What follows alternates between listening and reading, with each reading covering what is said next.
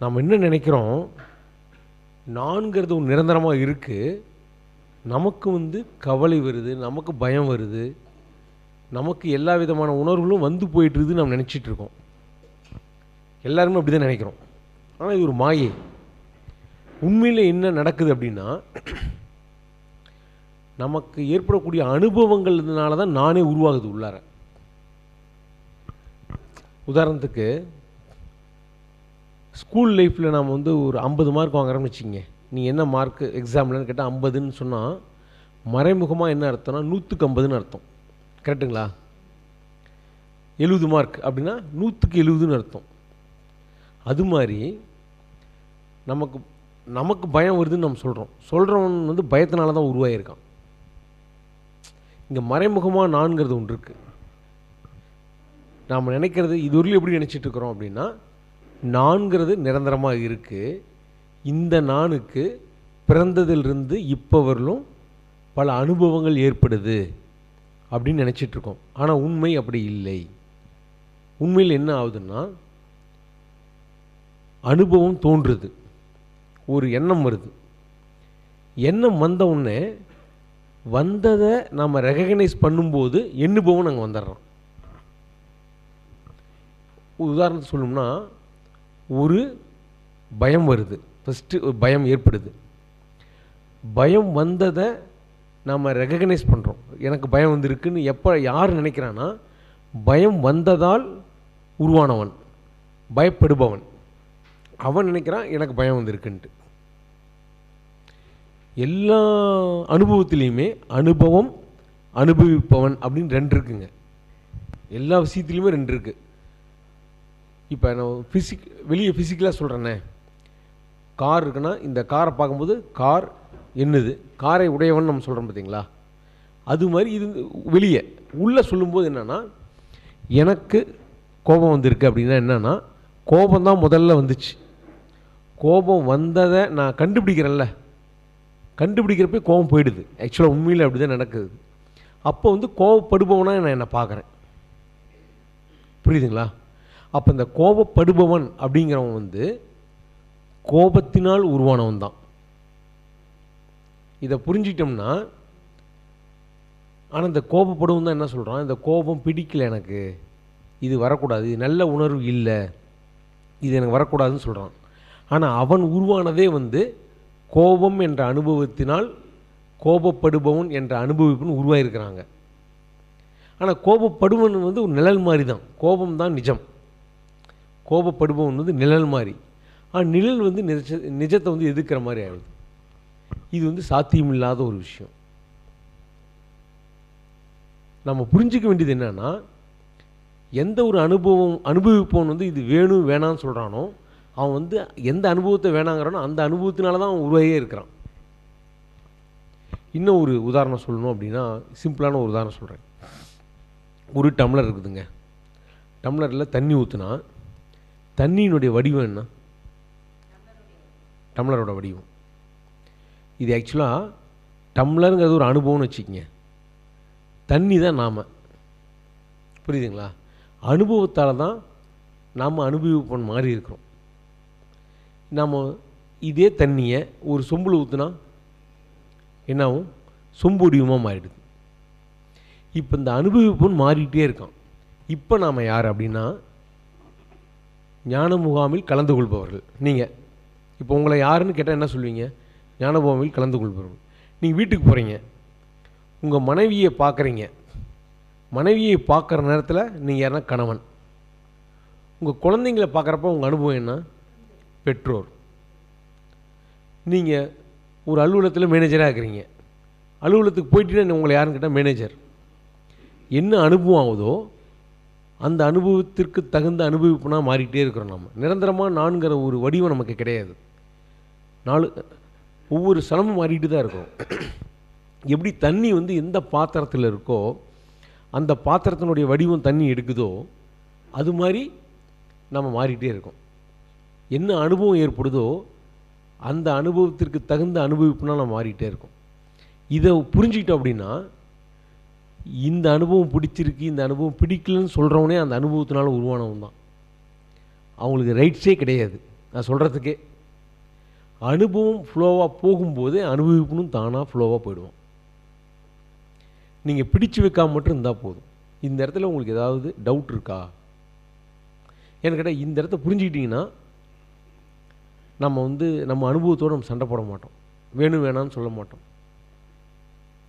இங்கே புரியலன்னா தரமாக கேளுங்கள் என்ன எங்களை பொறுத்தவரையில் என்னென்னா ஞான முகாமுக்கு வரவங்க ஹண்ட்ரட் பர்சன்ட் அவங்க கிளியராக போகணும். உள்ளே வரும்போது எப்படி வேணாலும் வரலாம்.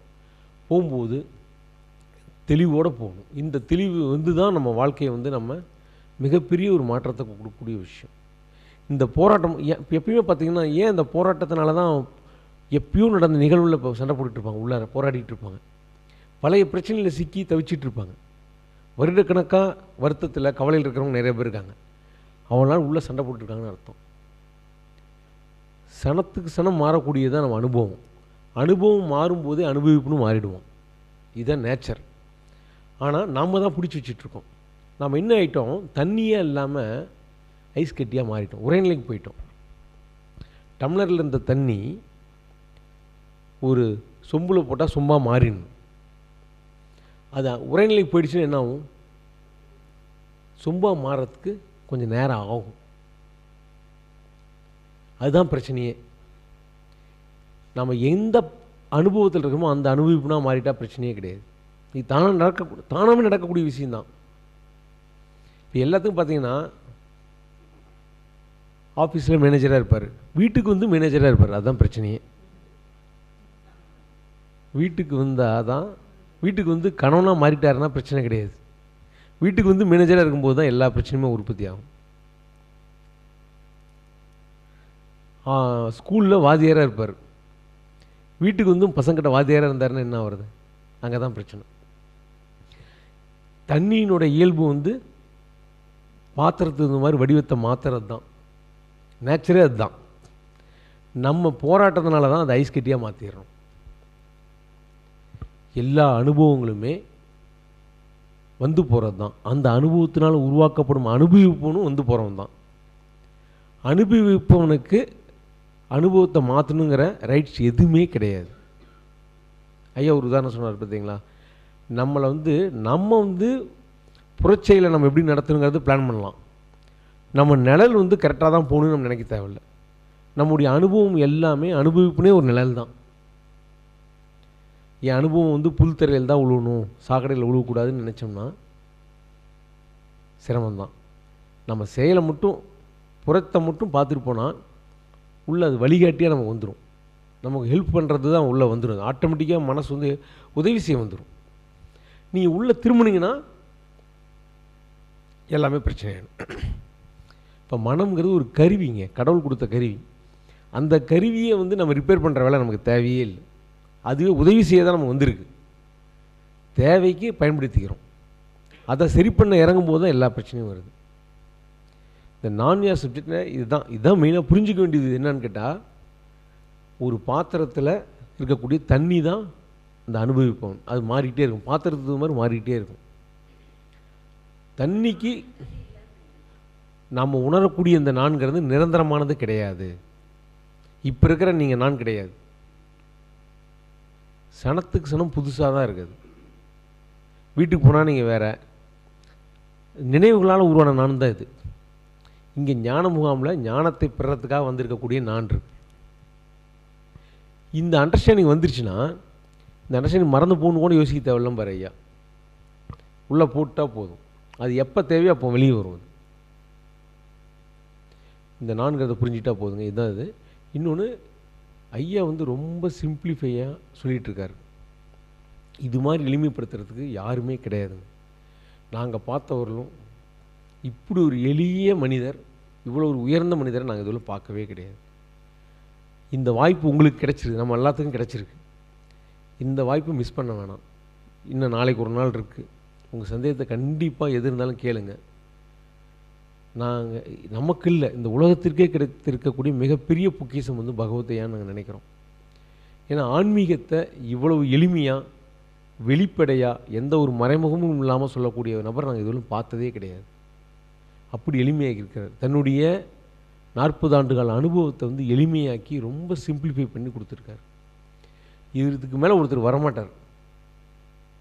இன்னொன்று என்னென்னா இது ஐயா என்ன சொல்கிறாருன்னா புரிஞ்சிட்டா நானே உங்களுக்கு தேவைப்படக்கூடாதுங்கிறது அவரே. ஆக்சுவலி நம்ம எல்லாருமே புரிஞ்சிட்டோம் நமக்கு நாம தான் சுய ஒளி. அப்படி நம்ம நம்ம நம்ம சுயத்தில் இருக்கிறதுக்கு தான் நமக்கு வந்து நமக்கு ஐயா இவ்வளோ பெரிய உண்மையை வந்து ரொம்ப எளிமையாக்கி கொடுக்குறாரு. இதை நீங்கள் தயவுசெய்து மிஸ் பண்ணிட வேணாம் அப்படிங்கிறது என்னுடைய தாழ்மையான ஒரு வேண்டுகோள். கண்டிப்பாக நாளைக்கும் முழுசாக பயன்படுத்திங்க நாளைக்கு காலையில் ஆக்சுவலாக நாங்கள் ஒரு பத்து மணிக்கு நாங்கள் கிளம்பிடுவோம் நாங்கள் ஃபுல் டைம் இருக்குது நாளைக்கு ஃபுல் டே இருக்குது நல்லா அதை பயன்படுத்திங்க. என்னென்ன சந்தேகம் இருந்தாலும் முழுமையாக கேட்டு அதை நிறைவாக பயன்படுத்திங்க. வேறு ஏதாவது சந்தேகம் இருந்தாலும் நான் சப்ஜெக்டில் சந்தேகம் இருந்தாலும் கேளுங்க. எங்களுக்கு ஐயா கிடைச்சிருக்கிறது மிகப்பெரிய பொக்கிஷம் அப்படின்னா நாங்கள் வந்து இருபது வருஷமாக தேடி விபாசனா பயிற்சிலாம் நாங்கள் ரெண்டு பேருமே பத்து பத்து வகுப்பு கலந்துருக்கிறோம். விபாசனா பத்து வகுப்பு கலந்தவங்களுக்கு தான் தெரியும். இது லைஃபே விபாசனம். இந்த அண்டர்ஸ்டாண்டிங் வந்துட்டு உங்கள் லைஃபே விபாசனம். பயிற்சி போனால் பத்து நாள் தான் விபாசனம். பத்து நாள் என்னென்னா நீங்கள் ட்ரை ஆகிடுவீங்க டோட்டலாக நம்முடைய நினைவெல்லாம் ட்ரைவ் ஆகி நம்ம வந்து இதான மாதிரி பண்ணுவாங்க. டோட்டலாக நம்ம வந்து நம்மகிட்டருந்து நிறைய வெளிப்படும். ஆனால் முடிச்சுட்டு வந்தோடனே அது ஒரு பயிற்சியாக பண்ணுறவங்களும் என்னென்னா முடிச்சு வந்தீங்கன்னா கொஞ்ச நாள் இருக்கும். அப்புறம் பார்த்தீங்கன்னா அக்குமுலேட் ஆக ஆரம்பிச்சிடும் இந்த இதில் என்னன்னு கேட்டிங்கன்னா டே பை டே நம்மளோட ஃப்ளோ நடந்துகிட்டே இருக்கும். தேவையில்லாத வெளியே போயிட்டே இருக்கும். நம்மளே ஃப்ளோவில் தான் இருப்போம். எந்த பிரச்சனையும் தேங்க மாட்டோம். நம்முடைய நம்முடைய எனர்ஜிங்கிறது பார்த்திங்கன்னா நம்முடைய மனதை நிர்வாகம் பண்ணுறதுக்கு செவன்ட்டி ஃபைவ் பர்சன்ட் மேலே நம்ம செலவு பண்ணிகிட்ருக்கோம் புறவெளிக்காக வெறும் டுவெண்ட்டி ஃபைவ் பர்சன்ட் தான் செலவு பண்ணிகிட்ருக்கோம் மனசை நிர்வாகம் பண்ணுறதுக்கு உங்களுக்கு வேலை இல்லைன்னு எப்போ நம்ம தெரிஞ்சுக்கிறோமோ அப்போ ஹண்ட்ரடு பர்சன்ட் நம்முடைய புறத்தினுடைய எஃபிஷியன்சி எப்படி இருக்குங்க? நல்லா இருக்கும். எதுலேயுமே தேங்கிட மாட்டோம் நம்மளோட ஒர்க் எஃபிஷியன்சி ரொம்ப நல்லாயிருக்கும். எவ்வளோ பெரிய பிரச்சனை வந்தாலுமே ஈஸியாக அதை கடந்து வந்துடுவோம் நாம் இதை புரிஞ்சிட்டவங்க எல்லாருமே தஞ்சாவூர் பொம்மை மாதிரி. எப்படி சரித்து போட்டாலுமே நேராக வந்துடுவாங்க எங்கேயும் சாஞ்சிட மாட்டாங்க. அந்த பேலன்ஸ் சமநிலை நமக்கு வந்து ஆட்டோமேட்டிக்காக நடக்கும். தஞ்சாவூர் பொம்மை பார்த்துருக்கீங்கள எப்படி வேணாலும் சாட்சி போடுங்க. ஆடி நேராக நின்றுக்கும் எவ்வளோ பெரிய துன்பம் துயரம் வந்தால் கூட நம்ம வந்து அதில் வந்து தடைப்பட்டு நம்ம விழுந்துட மாட்டோம். அதையும் கடந்து நம்ம செயல்பட ஆரம்பிப்போம். அதுதான் இந்த ஞானினுடைய மிகப்பெரிய சிறப்பே அதுதான். இப்போ சரவணன் உங்க கூட பேச போகிறாரு நிறைய உதாரணங்களோட இந்த ஞானத்தை வந்து புரிய வைக்கிறதுக்காக வந்திருக்காரு. இதை பயன்படுத்திக்கிங்க. நம்ம எல்லாருமே ஒரு குடும்பம் மாதிரி நம்ம எல்லாருமே.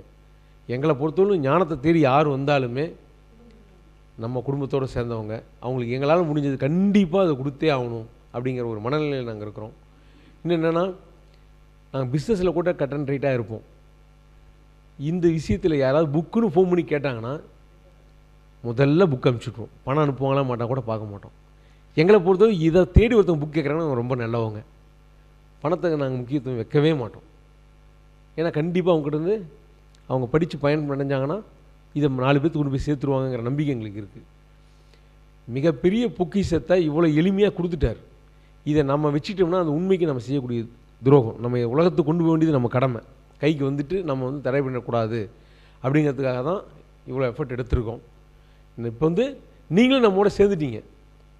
நம்ம எல்லாருடைய நோக்கமும் என்னென்னா இதை உலகத்துக்கு கொண்டு போகணும். அதுக்கு நீங்கள் இன்னும் முழுசாக தெளிவடையணும். நல்லா எந்த ஒரு சந்தேகமும் இல்லாமல் தெளிவடையணும். எல்லாரும் கொண்டு போனோம்னா இது சாதாரண விஷயம். ஈஸியாக உலகத்துக்கு ஃபுல்லாக கொண்டு போயிடலாம் நம்ம. ரொம்ப எளிமைப்படுத்திட்டேன் இதுமாதிரி எளிமை பண்ணுறதுக்கு ஒன்றுமே கிடையாது. கொண்டு போய் சேர்த்த வேண்டியது மட்டும்தான் நம்மளுடைய வேலை இருக்குது சரவணன் பேசுவார். நம்ம ஏதாவது சந்தேகம் இருந்தாலும் கேட்டுக்கலாம்.